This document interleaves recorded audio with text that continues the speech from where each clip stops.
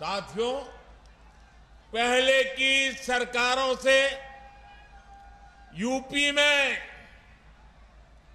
जब पहलों की सरकारें थी, तब यूपी में अपराधी अपना खेल खेलते थे। माफिया अपना खेल खेलते थे। पहले यहाँ अवैध कब्जे के टूर्नामेंट होते थे।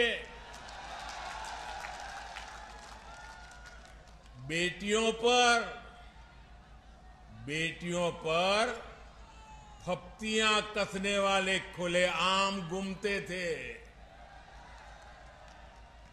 हमारे मेरठ और आसपास के क्षेत्रों के लोग कभी भूल नहीं सकते कि लोगों के घर जला दिए जाते थे। और पहले की सरकार अपने खेल में लगी रहती थी।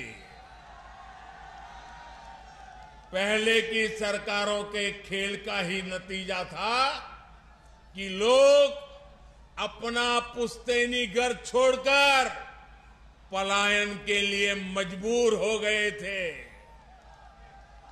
अब योगी जी की सरकार।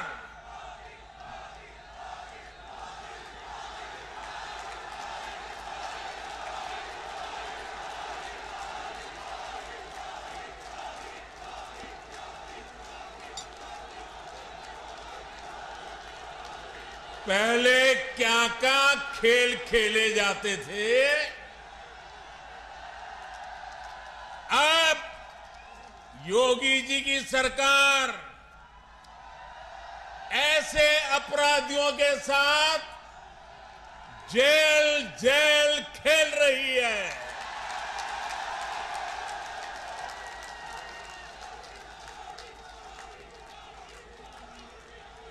पाँच साल पहले इसी मेरठ की बेटियाँ शाम होने के बाद अपने घर से निकलने से डरती थी। आज मेरठ की बेटियाँ पूरे देश का नाम रोशन कर रही है। यहाँ मेरठ के सोतीगंज बाज़ार में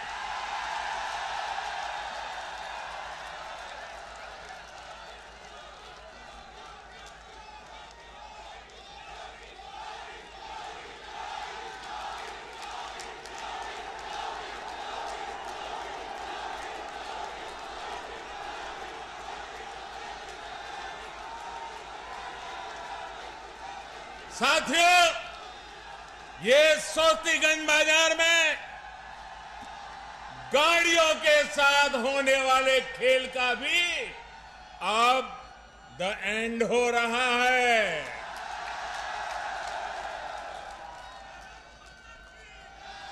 अब यूपी में असली खेल को बढ़ावा मिल रहा है। यूपीए के युवा, यूपी के युवाओं को खेल की दुनिया में छा जाने का मौका मिल रहा है।